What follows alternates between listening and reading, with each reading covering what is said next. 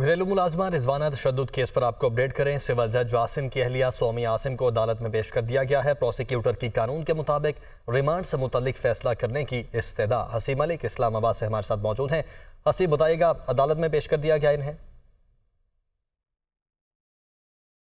बिल्कुल, ये सिविल जज की अहलियाँ हैं, सोमिया आसिम, जिनको घरेलू मुलाजमा पर तशद करने से मुतक ये केस था, जिसके अंदर आज इस्लामाबाद पुलिस की जानब से अदालत के रूबरू पेश किया गया है। ड्यूटी जुडिशल मजिस्ट्रेट शाइस्ता कुंडी की अदालत में पेश किया गया है, जबकि जो प्रोसिक्यूटर थे और तफ्तीशी अफसर थे, उनकी जानब से जिसमानी रिमांड की इस्तः की गई है कि रिकवरियाँ करनी हैं, तफ्तीश करनी है और C C T V footage हासिल करनी है, जिसकी वजह से जिसमानी रिमांड की इस्तः की गई है, जिसके ऊपर अदालत की जानब से इस्तफसार किया गया कि एक ख़ातून मुलजमा का जिसमानी रिमांड किन कानून के तहत, किस कानून के तहत जो है वो हासिल किया जा सकता है? कानून के मुताबिक सिर्फ़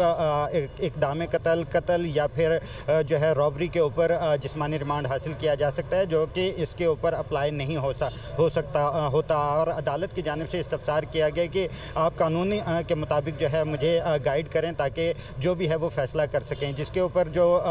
मुलजमा के वकील थे उनकी जानब से मौक़ इख्तियार किया गया कि C C T V footage है जो कि स्काई वे अड्डे की है और वहाँ से फुटेज के अंदर फुटेज हासिल करने के लिए के लिए मुलजिमा का जिसमानी रिमांड होना कोई लाजमी बात नहीं है जिसके ऊपर जो मुलजिमा के वकील थे उनकी जानब से इस्तः की गई कि जिसमानी रिमांड की इस्तः को मुस्तर किया जाए। आपका